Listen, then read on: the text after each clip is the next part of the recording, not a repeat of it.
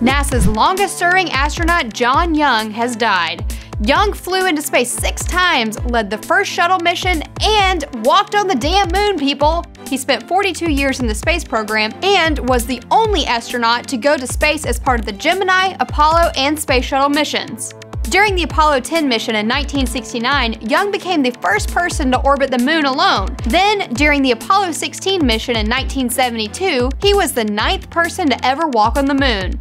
Young had a long military background before becoming part of the space program. He joined the U.S. Navy after college and over the course of his flying career logged more than 15,000 hours flying props, helicopter, and rocket jets. He retired as a captain in 1976. Young passed away on January 5, 2018 in Houston, Texas.